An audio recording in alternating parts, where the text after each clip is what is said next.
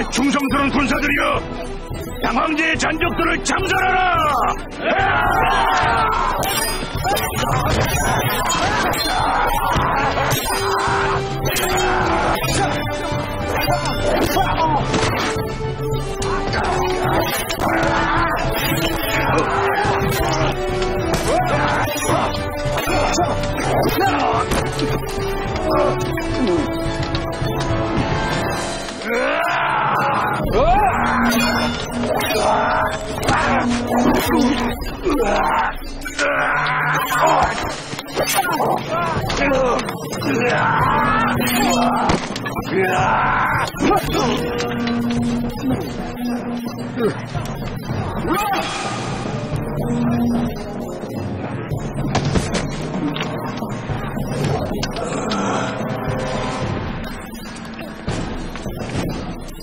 대왕 폐하 천수를 누리소서. 사만일동 만세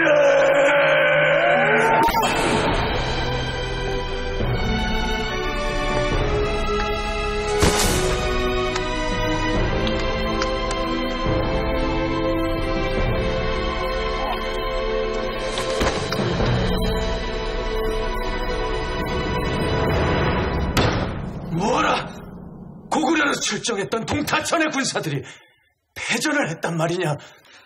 동타천 장군은 전사하고 원술랑과 수십 명의 군사만 살아 돌아왔다고 합니다.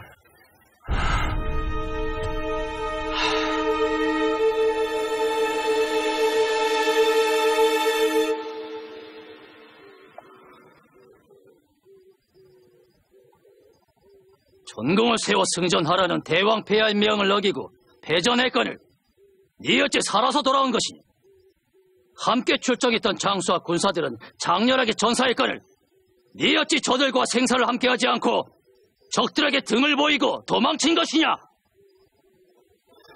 아버지, 소자의 죄를 엄히 물으십시오.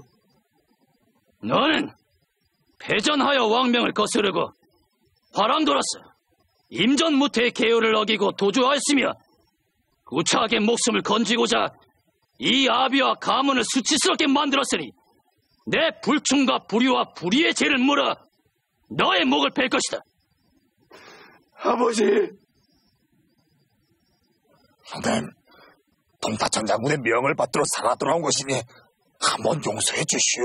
아우님의 아들 방골이는 스스로 목숨을 바쳐 저 황산벌에서 승전을 이끌며 청사의 길이 빛날 정공을 세웠거늘 나는 어찌 이 용녀는 아들의 죄를 용서해야 옳단 말인가? 형님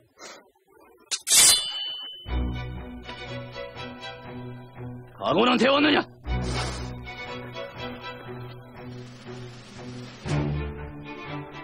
아버님, 부디 아우를 살려주십시오. 이번 패전이 어찌 원수리만의 책임이겠습니까?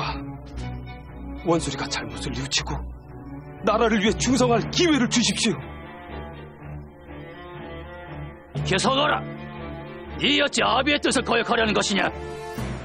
너가 왕명과 화랑도의 계율을 저버린 네 아우를 두둔한다면 내 먼저 너를 베어버릴 것이다.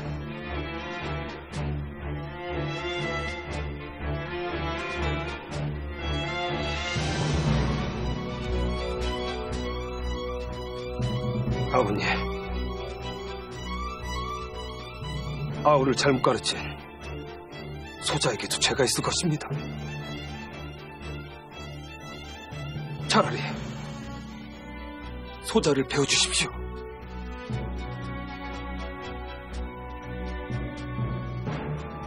소자, 원수리를 대신하여 죄를 받겠습니다. 뭐냐?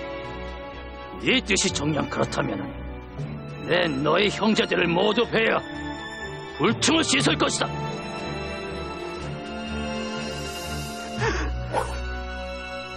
이야!